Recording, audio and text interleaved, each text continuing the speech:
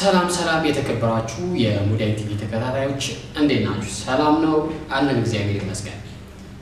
በዚች እጥር ምጥን ባለች ቪዲዮችን አንድ መልእክት ወደ እናንተ ለማድረስ ብቅ እያለሁ መልእክቱም እንግዲህ በተለይም ደግሞ ተራርቀን የምንኖር ሰዎች በርቀት ፍቅርን የምንመራ ሰዎች ካለን በርቀት ቤተሰብን የምንመራ ሰዎች ካለን እንዲሁም ደግሞ በእንደዚህ አይነት ሲቹዌሽን ውስጥ እየኖርን እያለን በኋላ ላይ ከተጣላን ወይም ደግሞ ከተፋታን በኋላ አንዳንዴ ያ የተጣላነው ሰው ወይም ደግሞ የተፋታነው ሰው ከሌላ ሰው ጋር መኖር ጀምሮ የራሱን ሕይወት ከጀመረ በኋላ ራሳችንን እየቀጣንና ራሳችንን ዝቅ ዝቅ እያደረግን ለራሳችን ያለን ስሜትም እየወረደ ይመጣል የሚል አስተሳሰብ አለ። ከዚህ ጋር የተያያዙ አንድ በጣም ወሳኝ የሆነ ፖይንት ወደ እናንተ አደርሳለሁ።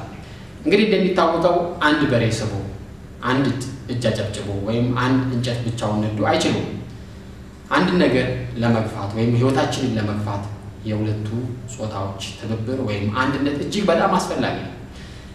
ከዚህ ጋር እንግዲህ አያይዘን የምንናገረው ነገር ምንድን ነው? አንዳችን ብቻ እየወደድን አንዳችን ብቻ እያፈቀርን የምንኖር ከሆነ በተቃራኒው ያለው ሰው ደግሞ የማይወድንና የማያፈቅርን የማይፈልገን ከሆነ ምንም ያህል እንግዲህ ያንን ሰው ብንወደውና ብናፈቅረው ለውጥ ማምጣት አንችልም። ስለዚህ ምንድን ነው ማድረግ ያለብን?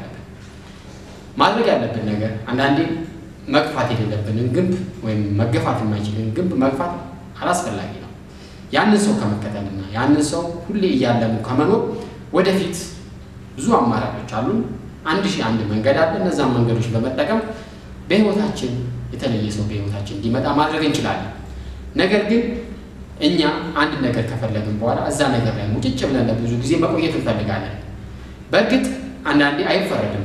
love is uncontrolled ማለት አንዳንዴ ሰውን ስናፈቅረው ስንወድ ያ ሰው ግን የማይወደን ከሆነ የማያፈቅረን ከሆነ ልንቆጣጠረው አንችልም ስሜታችንን ለምን ወደድ ነው ብለን። ነገር ግን ያ ሰው እኛ እንዲወደን አይገደድም።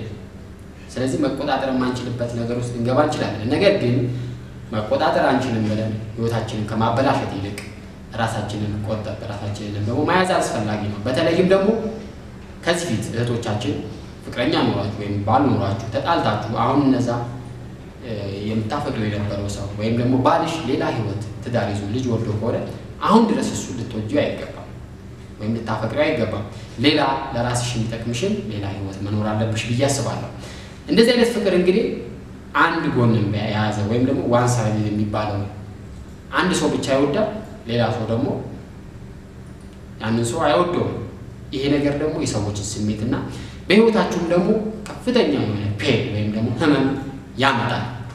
ስለዚህ አንዳንዴ የምንፈልገውን ነገር በህይወታችን አለማግኘት ወይም ደግሞ የምንፈልገውን ሰው በህይወታችን አለማግኘት ከባድ ሸክምና ከባድ በሽታ እንደመሆኑ መጠን ይህንን በሽታ መከላከል አለብን። ነገር ግን እንዴት አድርጎ ነው እኛን ሊጎዳን የሚችለው ነገር ለሚለው አንድ ሁለት ሀሳቦች ይስጣችሁ።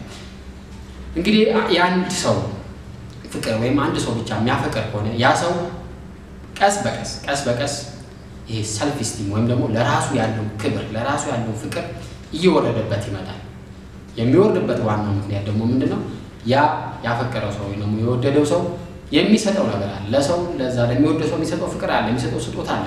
በተቃራኒ ግን ምንም ነገር የማያገኝ ከሆነ እኔ ተፈላጊ አይደለሁም፣ እኔ የምወደድ ሰው አይደለሁም ብሎ በራሱ ላይ ያለው ክብር ለራሱ የሚሰጠው ግምት እጅግ በጣም እየወረደ ይላል። ስለዚህ ይሄ ነገር ወደ አላስፈላጊ ነገር ውስጥ ይቀጥላል።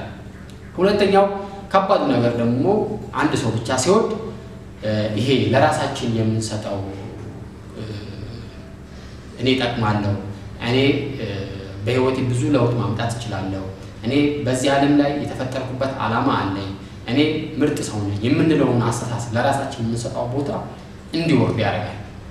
በዚህም ምክንያት ብዙ የህይወታችን ክፍሎች እየተበላሹ ህይወታችን ዝብርቅርቅ ማለት ውስጥ ይገባል። በተለይም ደግሞ መመልከት እንችላለን። በወጣትነት እድሜ ላይ ያሉ ወንዶችም ሴቶችም የሚፈልጉትን ሰው ሳያገኙ ሲቀር ያ ሰው ወይ ተሰዶ ወደ ውጭ ሀገር ሲሄድ፣ ያ ሰው በሌላ ሰው አግብቶ፣ ያ ሰው ወይ ደግሞ የማያገኙ ቦታ ሲደርስ ያ ሰው አብዶ መንገድ ላይ እያወራ ይሄዳል። በፍቅር ያበደ የምንለው እንግዲህ ምንድን ነው? ያንን የሚወደውን ሰው ስላላገኘ ነው። ብቻውን ያንን ሰው እያፈቀረው ስለሚኖር ነው እና እንደዚህ ከባድ የሆነ የጤንነት ችግር ውስጥ እስከ ሞትም የሚያደርስ ችግር ውስጥ ያስገባል። በጣም ትኩረት ማድረግ አለብን። ከሁሉም በላይ ግን አንድ ሰው ብቻውን ሲያፈቅር የሚጎዳው ነገር ያ የሚፈቀረው ሰው ወይም ደግሞ የተፈቀረው ሰው ከሌላ ሰው ጋር ሆኖ ሲያየው አፍቃሪ ሰው እጅግ በጣም ስሜቱ ይጎዳል። ያፈቀረ ሰው የሚያፈቅረውን ሰው ከሌላ ሰው ጋር ሆኖ ሲያገኘው በጣም ያዝናል። ስለዚህ እነዚህ እነዚህ ነገሮች ተደማምረው እኛ ቀለል አድርገን እናስበዋለን እንጂ ብቻችንን አንድ ሰው መውደድ በሕይወታችን ላይ ከፍተኛ የሆነ ጫና ያሳድራል። በተለይም እድሜያችን የጨመረ በሄደ ቁጥር ይህን ነገር በደንብ ማስተዋል አለብን። በእርግጥ ፍቅር መስጠት ነው። ለማግኘት መጀመሪያ ላይ መስጠት ያስፈልጋል። ነገር ግን እስከ መጨረሻው ብቻ እየሰጠን እራሳችንን እየጎዳን መሄድ የለብንም የሚል ሀሳብ አለን።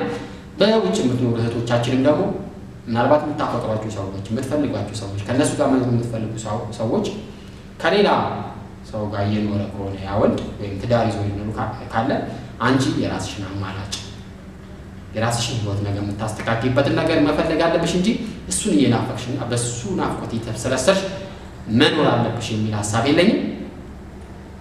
በሌላ ቪዲዮ ደግሞ ጠቃሚ በሆነ ሀሳብ እንመለሳለን። ስላዳመጣችሁኝ አመሰግናለሁ። መልካም ጊዜ ይሁንላችሁ።